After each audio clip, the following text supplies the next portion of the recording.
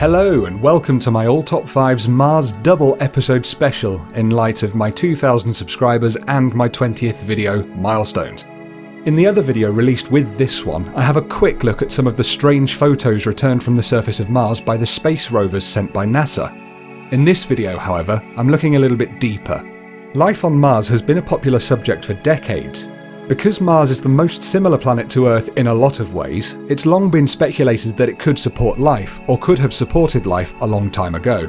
Could living organisms, however small, be there on Mars today? Is there any proof of life long ago buried in the rocks? We don't have a definite answer, but there's a lot of evidence that could hint towards a yes. Number 5. Simulated Martian Environment while this definitely isn't proof of life on Mars, this is evidence that life could survive on the planet. In 2012, an experiment was set up to test the ability of a particularly tough and adaptable lichen, known as an extremophile, to survive in a Mars-like environment. This was carried out in the Mars Simulation Laboratory, owned by German Aerospace Center. The experiment had some surprise findings, over 34 days, the conditions were simulated, including low temperature, low pressure, and changes in UV light intensity.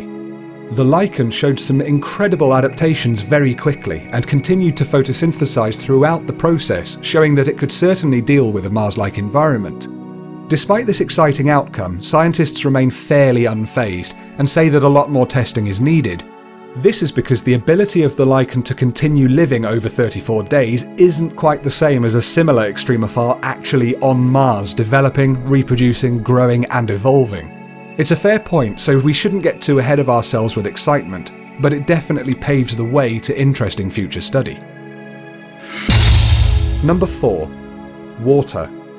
All life we know about cannot survive or begin without liquid water involved in the process somewhere. That's why scientists have made the search for water one of the highest priorities on each of the missions to Mars. As the red planet is so cold and has such a low atmospheric pressure, it means that virtually all the water there is solid ice, although there is a small amount of water vapour in the air. We've known for a long time that Mars has ice caps at each of its poles, much like the Earth has. During the warm seasons, the poles melt to some extent, and this is thought to cause some water to flow on the surface for short periods at a time. However, it's believed that this freezes very, very quickly, probably only a few minutes after melting. These images don't necessarily prove that water is making these streaks, however, as some suggest it could just be sand flowing across the surface instead. There's no way of proving it currently. There are thought to be geysers on Mars as well, and scientists have studied their behaviour, finding some odd dark spots and channels in the ice at the southern pole. Some believe that these dark spots could be colonies of microbes that work like tiny plant life, using photosynthesis to survive. Each summer, the theory is that the sun melts a little bit of ice, forming these channels of liquid water. The microorganisms come out of hibernation and thrive for a few months at a time, their activity causing small pockets to melt in the surface ice. This is the theoretical explanation for these dark spots. This location would also be one of the best for avoiding the high solar radiation that's apparent on the surface. Again though, this is all conjecture, based on what we can see. There are other geological explanations that are just as likely, and so sadly we can't say for certain that this is proof of life on Mars. Number 3. Chemical environment. One of the best ways to determine if there's any point in looking for life on Mars is to see how habitable it is, that is, how well it could potentially sustain life given its environment. Many of the missions to the Red Planet have included a specialist part of the vehicle that can give a very clear picture of what the air and soil are made up of in terms of the elements involved. Aside from water being present, as I've mentioned, there is an availability of carbon, hydrogen, nitrogen, oxygen, phosphorus and sulfur, along with other nutrients and micronutrients that could support life. Although on Mars's surface there's too much radiation and it's too cold for life as we know it to survive, there may well be merit in the idea that underground caves and ancient vent systems might be a better environment. Indeed, there was believed to have been a lot of volcanic activity in millions of years gone by. If the elements and nutrients that are apparent on the surface are also in the subterranean areas, there may be more chance for life down there. These elements are the most fundamentally important building blocks of life, so the fact that they're present and in good number means that the idea of Martian life can't be written off quite so easily. Number 2. Meteorites.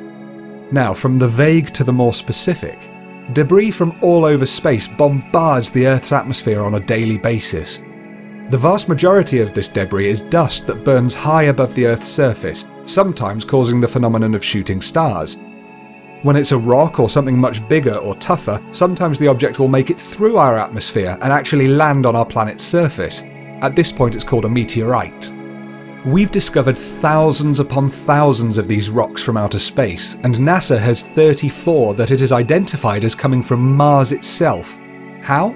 Well, whenever Mars is hit by a meteor, or when volcanoes erupted long ago, some of the material that has been blown away from the planet's surface to make a crater can end up leaving Mars's thin atmosphere.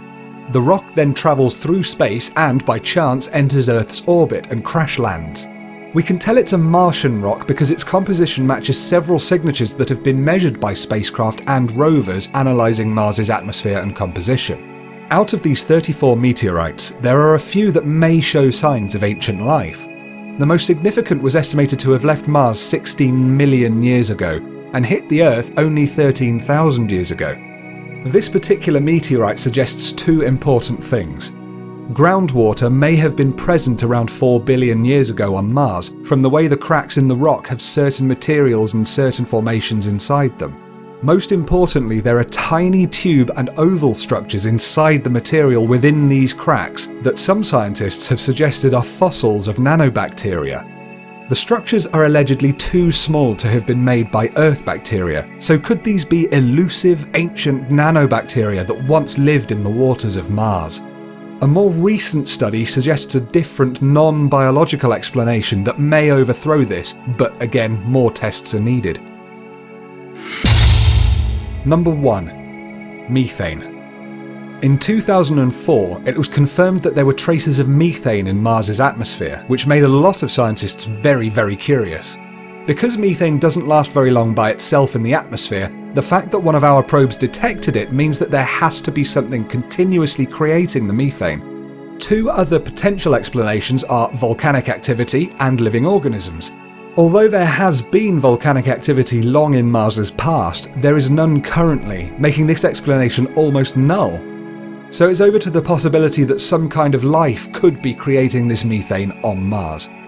There are some microorganisms called methanogens that, theoretically, have all the adaptations and processes that would allow them to live below the surface of Mars, as they don't need the sun and use only hydrogen and carbon dioxide to live. Some experiments done in laboratories have confirmed that this is the case and that methanogens producing the methane shouldn't be ruled out as an explanation.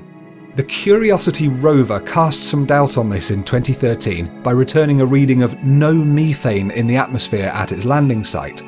However, a few months later it detected a spike of methane 10 times what was expected, suggesting that the gas is released in intervals, perhaps with the changing of the seasons. This certainly goes hand in hand with the idea of hibernating bacteria underground, beginning its activity when the sun begins to warm it.